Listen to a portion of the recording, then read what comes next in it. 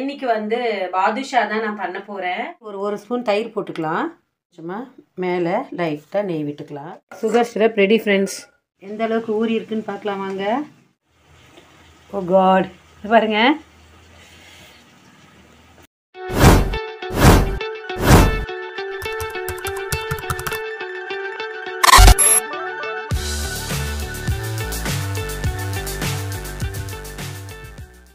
Hi friends எப்படி இருக்கீங்க? நல்லா இருக்கீங்களா? ரொம்ப நாள் ஆச்சு உங்களை நான் வந்து பார்த்து வீடியோவில் பார்த்து.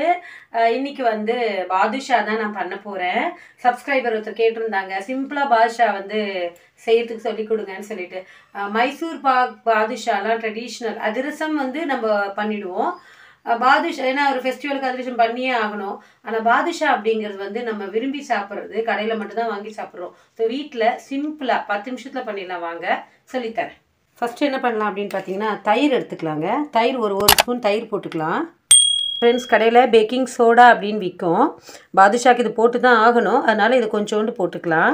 ஒரு கால் spoon baking soda baking powder இதுவும் கடையில் விற்கும் எல்லாமே ஒரு தேர்ட்டி ஃபைவ் டு ஃபார்ட்டி தான் இருக்கும் நூறு கிராமு இது ஒரு கால் ஸ்பூன் போட்டுக்கலாம். இப்போது இதை நல்லா கலந்துக்கலாம் ஃப்ரெண்ட்ஸ் நல்லா நுரைச்சி வரும். அது வரைக்கும் கலந்துக்கலாம். ஃப்ரெண்ட்ஸ் ஸ்பூனால் மிக்ஸ் பண்ணிவிட்டு கையால் இப்படி நல்லா நீங்கள் கலந்து விட்டிங்கன்னா அது நல்லா வந்து நுரைச்சி வரும். இந்த பேக்கிங் சோடாவும் பேக்கிங் பவுடரும் நம்ம போட்டதுனால இது நல்லா இந்த மாதிரி இதை பாருங்கள் தயிரோட மிக்ஸ் ஆகி நல்லா இந்த மாதிரி நுரைச்சி வரும். பார்த்திங்களா நான் வந்து மைதா வந்து எடுத்திருக்கேன் ஃப்ரெண்ட்ஸ்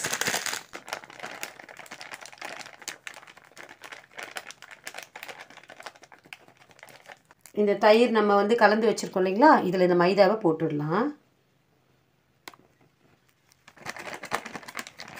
ஸோ ரெண்டு கப் மைதா. நெய் ஃப்ரெண்ட்ஸ் கீ போட்டுக்கலாம். நீங்கள் வனஸ்பதி கூட போட்டுக்கலாம். நம்ம விருப்பம்தான். மூணு நாலு ஸ்பூன் போட்டுக்கோங்க. ஒரு சிட்டிக்கு உப்பு போட்டுக்கலாம் ஃப்ரெண்ட்ஸ்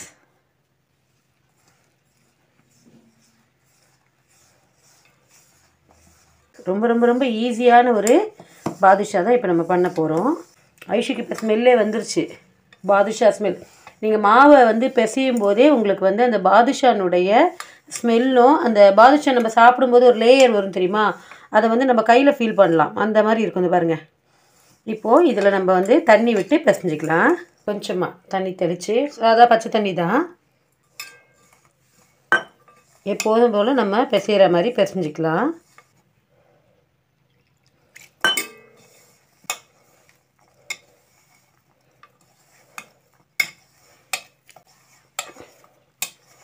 தளர வேணாம் ஃப்ரெண்ட்ஸ் கொஞ்சம் கெட்டியாகவே பிசைஞ்சிக்கலாம் அதை பாருங்கள் நான் வந்து ரெண்டு கப் போட்டிருக்கேன்.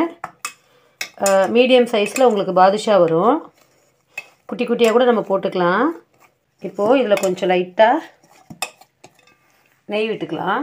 கொஞ்சமாக மேலே லைட்டாக நெய் விட்டுக்கலாம். நெய் ஃப்ளே நீங்கள் எண்ணெய் கூட விட்டுக்கலாம். நெய் ஃப்ளேவருக்காக நான் கொஞ்சம் நெய் விட்டேன். நம்ம வீட்டில் கொஞ்சமாக தானே செய்கிறோம் அதனால் ஒரு ரெண்டு ஸ்பூன் நெய்யில் என்ன ஆக போகுது. அதனால் நான் நெய் விட்டேன். ஒன்றரை கப் சர்க்கரை போட்டுக்கலாம். அவ்வளோதான் ஃப்ரெண்ட்ஸ் ரெடி இதை மூடி வச்சிடலாம் தட்டு போட்டு. ஒரு பத்து நிமிஷம் ஊறட்டும். அதுக்குள்ளே நம்ம வந்து சுகர் சிரப் பண்ணிடலாம் ஃப்ரெண்ட்ஸ் ஒரு கால் கப் தண்ணி விட்டுக்கலாம் ஃப்ரெண்ட்ஸ்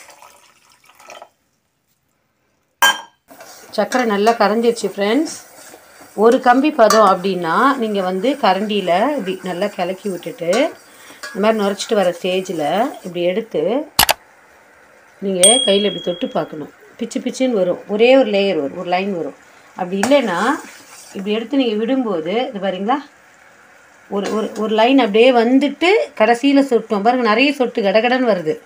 அப்போ இன்னும் ஒரு கம்பி பதம் வரலன்னு அர்த்தம். ஃப்ரெண்ட்ஸ் இங்கே பாருங்கள் இந்த இப்போ நான் விடுறேன் பாருங்கள் ஒரே ஒரு கம்பி பதம் பார்த்தீங்களா டைம் எடுக்குது பாருங்கள்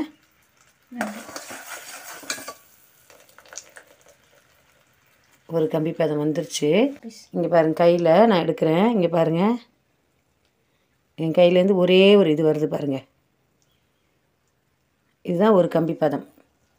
ஏலக்காய் பொடி கொஞ்சம் போட்டுக்கலாம். இது ஆப்ஷனல் தான் ஃபுட் கலர் உங்களுக்கு வேணும்னா போட்டுக்கோங்க. லெமன் ஒரு அரை லெமனை புழிஞ்சு விட்டுக்கோங்க. அந்த சுகர் பாகு அந்த இது வந்து கட்டாமல் இருக்கிறதுக்காக தான் லெமன் அந்த விதைகளோடு நான் பண்ணிட்டேன். விதையை நான் எடுத்துருவேன். கலந்துக்கலாம். சுகர் சிரப் ரெடி ஃப்ரெண்ட்ஸ் பார்க்கவே சூப்பராக இருக்கு பாருங்கள் இப்போ நம்ம வந்து ரெடி பண்ணி வச்சோம் இல்லைங்களா? மாவு ரெடியாக இருக்குது இப்படி எடுத்துக்கலாம். ஒரு உருண்டை எடுத்து நல்லா இப்படி உருட்டிக்கலாம். ரவுண்டாக உருட்டி இப்படி கையால் அழுத்திக்கலாம். பார்த்திங்களா? நமக்கு என்ன சைஸ் தேவையோ அதில். அப்போது நீங்கள் பட்டன் மாதிரி வேணும் அப்படின்னா இப்படி இப்படி உள்ளங்கையை வச்சு இப்படி அழுத்திக்கலாம்.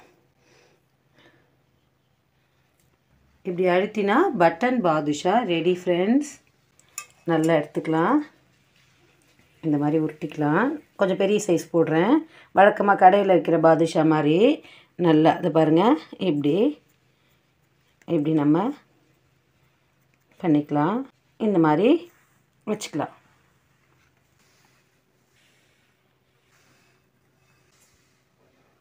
நீங்கள் டப்பா மூடி ஏதாவது இருந்ததுன்னா அதில் ஷேப் கூட நீங்கள் பண்ணிக்கலாம். ஃப்ரெண்ட்ஸ் அடுப்பில் எண்ணெய் வச்சுக்கோங்க. எண்ணெய் காஞ்ச உடனே நம்ம செஞ்சு வச்சுருக்கோம் இல்லைங்களா இந்த பாதுஷா? இதை எடுத்து நம்ம என்ன பண்ணலாம் அப்படின்னா சிம்மில் வச்சுக்கோங்க. போடலாம்.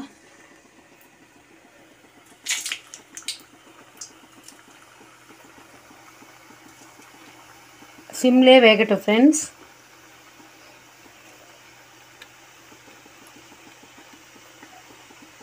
ஏன்னா அது மைதா மாவு வேகணும். பாருங்கள் ஃப்ரெண்ட்ஸ் இவ்வளோ அழகாக வருது பாருங்கள் நல்ல செவக்க வேகணும். ஏன்னா மைதா மாவு. அப்படியே லேயர் லேயராக ஊறின பிறகு பார்த்தீங்கன்னா லேயர் லேயராக உங்களுக்கு வரும். சிம்மில் வைங்க. நான் வந்து நல்ல மீடியம் சைஸில் தான் போட்டிருக்கேன். இது வெந்த உடனே நல்லா உப்பி பெருசாக இருக்குது பாருங்கள் இதை நம்ம சக்கரை பாகில் போட்டால் இன்னும் கூட இதுவாகும். பார்த்தீங்களா இந்த நுரெல்லாம் அடங்க ஆரம்பிச்சிருச்சுனாவே வெந்துருச்சுன்னு அர்த்தம்.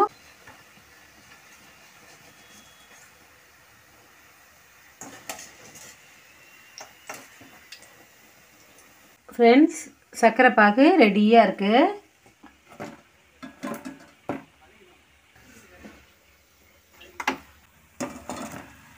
ஃப்ரெண்ட்ஸ் இது அப்படியே நம்ம வந்து இந்த பாகில் திருப்பி போட்டு ஊற வைக்கலாம். ஒரு ஆஃப் அன் ஹவர் இது வந்து ஊறணும்.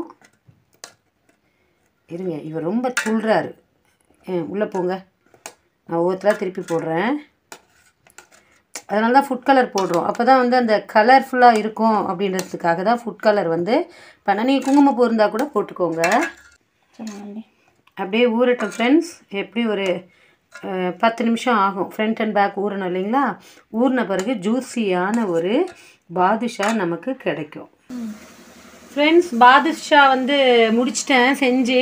அந்த கேப்பில் வந்து சமையலும் முடிச்சிட்டேன். இப்போ தான் வந்து டாஸ் போட்டு நம்ம வந்து டாஸ் வந்து லாஸ் பண்ணிட்டோம். இருந்தாலும் பரவாயில்ல. பேட்டிங் தான் நமக்கு. அதை தான் நம்ம எப்படியும் டாஸ் ஜெயிச்சிருந்தாலும் நினச்சிருப்போம். கோர்ஸ் ரெடி ஆகிடுச்சு சாதம் கொதிச்சிட்ருக்கு. இங்கே பார்த்தீங்கன்னா குழம்பு நல்லா தக தக தகன்னு கொதிச்சுட்டு இருக்கு மேட்ச் ஆரம்பிக்கிறதுக்குள்ளே நான் தட்டில் சாதம் போட்டு உட்காந்துருவேன் வாங்க பாதுஷா பார்த்துடலாம் ஃப்ரெண்ட்ஸ் பாருங்கள் பாதுஷா ரெடியாக இருக்குது இதை எடுத்து வச்சுக்கிறேன் நான் முதல்ல. எந்த அளவுக்கு ஊறி இருக்குன்னு பார்க்கலாம் வாங்க.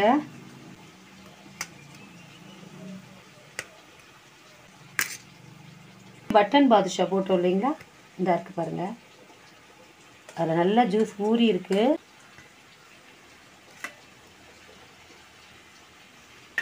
ஃப்ரெண்ட்ஸ் நான் சாப்பிட போகிறேன் முதல்ல உங்களுக்கு பிச்சு காமிக்கிறேன். எந்த அளவுக்கு அது ஊறி இருக்குன்னு பார்க்கலாம் வாங்க.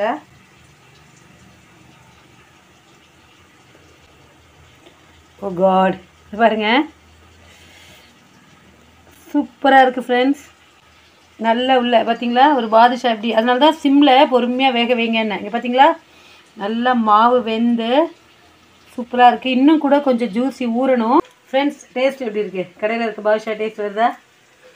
ஸ்வீட் கம்மியாக போயிட்டா லைட்டாக ஸ்வீட் கம்மியாக இருக்கான். சுகர் பேஷன் நிறைய இங்கே. ஸோ நீங்கள் இன்னும் ஒரு ரெண்டு கப்பில் ஈக்குவலைஸ் கூட சக்கரை போட்டுக்கோங்க. நான் டேஸ்ட் பண்ணி பார்க்குறேன் இருங்க. ஸ்வீட் கரெக்டாக இருக்குது ஃப்ரெண்ட்ஸ் இன்னும் கொஞ்சம் ஊறினா தெரியும். மேலே லேயர்லாம் நல்லா ஸ்வீட்டாக இருக்குது உள்ளே வந்து ஊறாததுனால ஸ்வீட் கம்மியாக தெரியுது. இன்னும் ஒரு பத்து நிமிஷம் ஊறட்டும்.